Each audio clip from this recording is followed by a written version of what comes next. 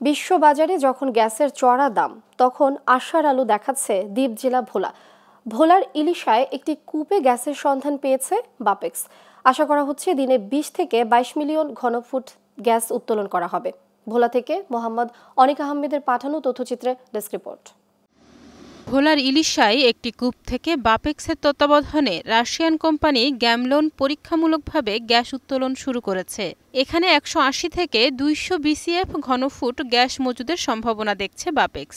সবকিছু ঠিকঠাক থাকলে আগামী পনেরো মে আনুষ্ঠানিকভাবে গ্যাস উত্তোলন করা হবে। গৃহস্থলীর কাজে এই গ্যাস ব্যবহারের সুযোগ দাবি করেছেন স্থানীয়রা। সবাই যে গ্যাস থেকে গ্যাস ব্যবহার করতে পারে আবাসিক গ্রাহক শিল্প কলকারখানা হলে বোলারবাসী গর্বিত। বোলার মানুষের চাহিদা পূরণ করে বোলার বাহিরে নিয়ে ব্যবহার করুক বা বোলার জন দেশের সাথে ব্যবহার করুক এটা আমাদের প্রত্যাশা। আমাদের যে যুবকের আছে যুবকের আমরা চাই যে বোলাতে মিল ফ্যাক্টরি কারখানা হোক তাদের উন্নয়ন হবে।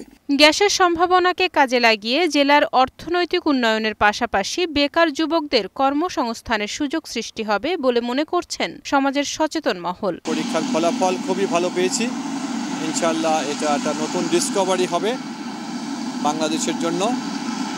এই গ্যাস ফিল্ড থেকে আমরা এই কূপ থেকে যে টেস্ট করছি, তাতে বিশ থেকে বাইশ মিলিয়ন করে প্রতিদিন উৎপাদন করা যেতে পারে। উনিশশো চুরানব্বই, পঁচানব্বই সালে ভোলায় শাহবাজপুরে প্রথম গ্যাসের সন্ধান মেলে। জেলায় একের পর এক গ্যাসের সন্ধান মেলায় দেখা দিয়েছে নতুন করে সম্ভাবনা। Global television, news desk.